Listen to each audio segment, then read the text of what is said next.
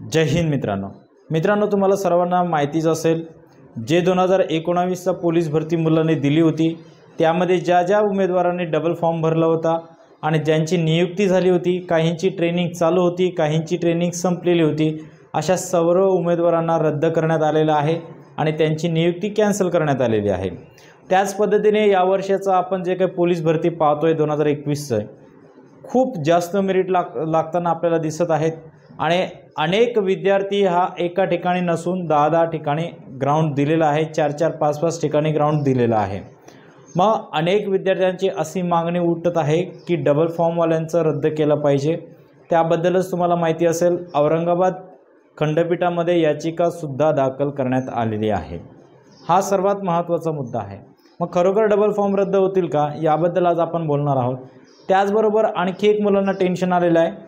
ते म्हणजे मुंबई शिपाई पोलीस भरतीचं मेरिट लिस्ट ग्राउंडची कारण ज्या पद्धतीने चालतची मेरिट लागलेली आहे त्यानंतर सर्व उमेदवारांना भीती वाटलेली आहे की आता मुंबईची पण मेरिट एवढी जास्त लागेल का? याबद्दल सुद्धा मी तुम्हाला माहिती देणार आहे. त्यामुळे फक्त व्हिडिओ शेवटपर्यंत पाहत राहा आणि चॅनलवरती नवीन आला असाल तर नक्कीच सबस्क्राईब करून घ्या. तर पहा मित्रांनो पहिला मुद्दा घेऊया आपण डबल फॉर्म रद्द होतील का?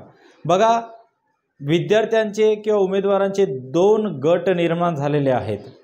एक असा गट आहे ज्याने एकाच ठिकाणी नियमाप्रमाणे एक आवेदन अर्ज केलेला आहे आणि एक असा गट आहे ज्याने दोन दोन ठिकाणी तीन तीन ठिकाणी चार चार ठिकाणी आवेदन अर्ज भरलेले आहेत. तर त्यांचं फॉर्म रद्द होणार का नाही होणार? याबाबत याबद्दल जो काही निर्णय आहे तो शासन घेणार आहे. त्याबद्दल उमेदवारांनी औरंगाबाद खंडपीठामध्ये याचिकासुद्धा दाखल केलेली आहे.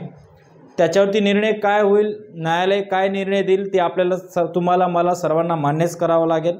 त्याबद्दल आपण काहीच बोलू शकत नाही. पण शक्यतो डबल फॉर्म रद्द होणार नाही कारण परीक्षा ही संपूर्ण महाराष्ट्रामध्ये एकाच वेळेस आहे.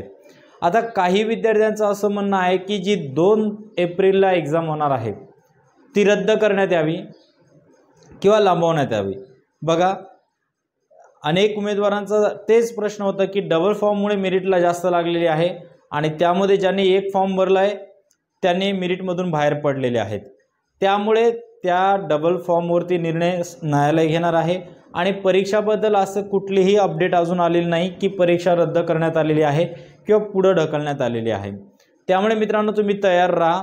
दोन एप्रिलला एक्झाम होईल शक्यतोवर आणि जर ती एक्झाम कॅन्सल झाली त्याबद्दल आपल्याला परिपत्रक शंभर टक्के मिळणार. आणि तोपर्यंत तुम्ही अभ्यास कंटिन्यू चालू ठेवा बाकी काही असो अभ्यास बंद करू नका. आता शेवटचे काही दिवस तुमचे राहिलेले आहेत. त्याचबरोबर मुद्द्याकडे येऊया मित्रांनो मुंबईची कट ऑफ लिस्ट ज्या पद्धतीने आपण पाहिली चालक पदाची कट ऑफ लिस्ट लागलेली होती. तर बघा चालक पदाला जागा कमी होत्या. त्यामुळे जवळपास भरपूर अशी मिरिट लागली होती. त्याच मनाने जर आपण ह्या विचार केलं की पोलीस शिपाईची तेवढीच मेरिट लागेल का तर बिलकुल लागणार नाही. पोलीस शिपाईची कम लागेल.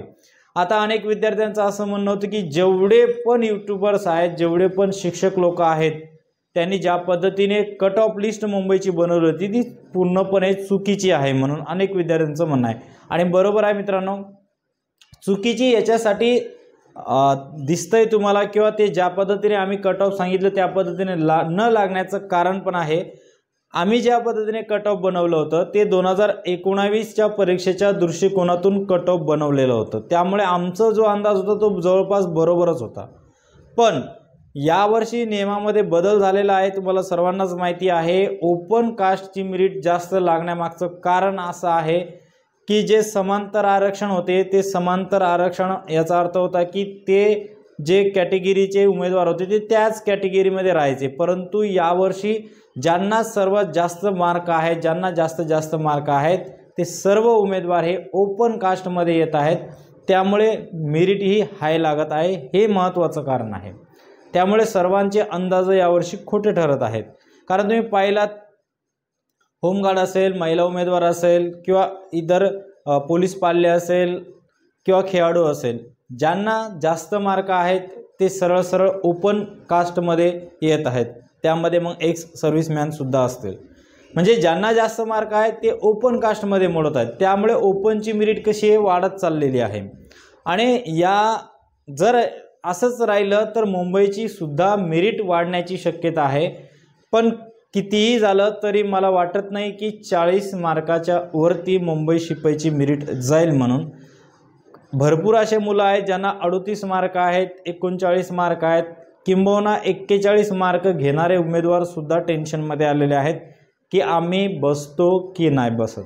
मित्रांनो तुम्ही बसता की नाही बसत ही नंतरची गोष्ट आहे. किंवा मला वाटतं ज्यांना चाळीसच्या पुढे मार्क आहे ते तर शंभर टक्के बसतीलच त्यात काही इश्यू नसणार आहे. आम्ही मी खूप दिवसापासून मुंबईच्या मिरिटवरती बोलतच नव्हतो की त्याच्यामागे हे भरपूर कारणं आहेत न बोलण्यामागचे. आता मी जर तुम्हाला सांगितलं की मिरिट जास्त लागणार तर ज्यांना कमी मार्क आहेत ते नाराज होतील. आणि जर मी बोललो की मिरिट खूप कमी लागेल मग काही विद्य उमेदवारांना असं वाटेल की हे अतिशयोक्ती होतं आहे असं होणारच नाही. मिरिट खूप जास्तच लागणार आहे असं उमेदवारांचं म्हणणं आहे. पण मी एकच सांगेन मेरिटचं तुम्ही टेन्शन घेऊ नका किती पण लागू द्या. बाकी तुमच्या हातामध्ये काय आहे? ग्राउंड जर तुमचं झालं असेल तर तुमच्या हातामध्ये फक्त आता अभ्यास करणं आहे. काही दिवस शिल्लक आहेत. परीक्षा पण लवकरच होणार आहे. असं नाही की परीक्षा जून जुलैमध्ये जाणार तर बिलकुल नाही आहे ज्या पद्धतीने ग्राउंडचं स्पीड वाढलेलं आहे ज्या पद्धतीने स्पीडमध्ये ग्राउंड घेत आहेत त्या पद्धतीने आपण बघतोय की जवळपास तेरा एप्रिलपर्यंत सर्वच उमेदवारांचे मैदानी चाचणी होऊन जाणार आहे. आणि शक्यतो वीस एप्रिलपर्यंत काय ते ग्राउंडचं रिझल्ट येऊन जाईल. आणि एप्रिलच्या एंडिंग किंवा मेच्या स्टार्टिंगलाच मुंबईची परीक्षा होण्याची शक्यता आहे. त्यामुळे मित्रांनो ज्याला चांगले मार्क आहेत ग्राउंडमध्ये मार्क आहेत अशा उमेदवारांनी अभ्यास सोडू नका अभ्यास कंटिन्यू करीत राहा. बाकी मित्रांनो तुम्हाला काय वाटतं? तुम्हाला किती वाटते की मुंबईची मिरिट जास्तीत जास्त किती लागेल? ते कमेंट बॉक्समध्ये नक्की कळवा. त्याच्यावरून एक आपल्याला सर्वेसुद्धा करता येईल. ओके मित्रांनो आजच्या व्हिडिओमध्ये एवढंच. नेक्स्ट व्हिडिओमध्ये भेटूया. तोपर्यंत जय हिंद.